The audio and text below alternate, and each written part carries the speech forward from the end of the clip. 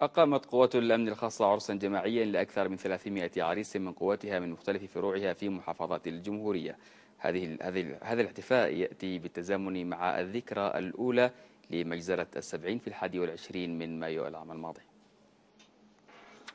ليس عرضا عسكريا كما قد يخيل للبعض إنما هو عرس جماعي لأفراد من أبناء قوات الأمن الخاصة.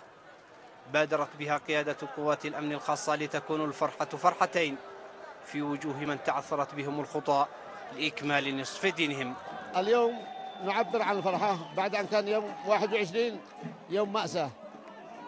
يومنا هذا يعبر عن التلاحم الوطني. يضم 350 عريس من مختلف محافظات الجمهورية.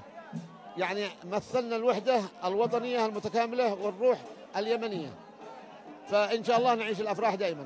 نحن في يومنا هذا لدينا البهجة والسرور. في أفراح 350 عريسا وفي 350 عروس هذا. إذا كان الإرهاب استهدفنا في 21 مايو العام الماضي واستشهد 85 شخصا.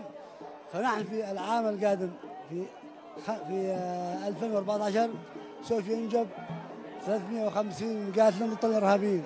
العرسان عبروا عن فرحتهم بهذه المناسبة مباركين الخطوة التي قامت بها قيادتهم.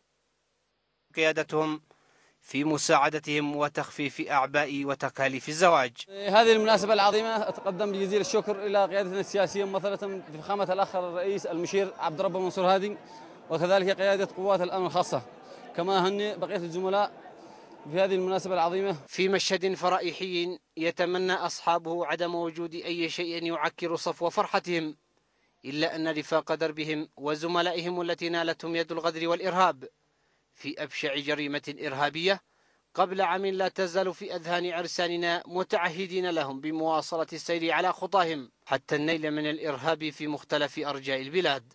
في البداية نهني الشعب اليمني العظيم بعيد الثاني والعشرين من مايو ونترحم على شهدائنا الأبرار الذين سقطوا في ميدان السبعين وألف عقبة للجميع. 350 عريسا يحتفلون بزواجهم غير متناسين من اختارهم الله شهداء عنده. على يد الغدر والإرهاب أثناء أدائهم لواجبهم مؤكدين أن دماءهم الطاهرة لن تذهب سدى يحيى الهادي اليمن اليوم صنعاء.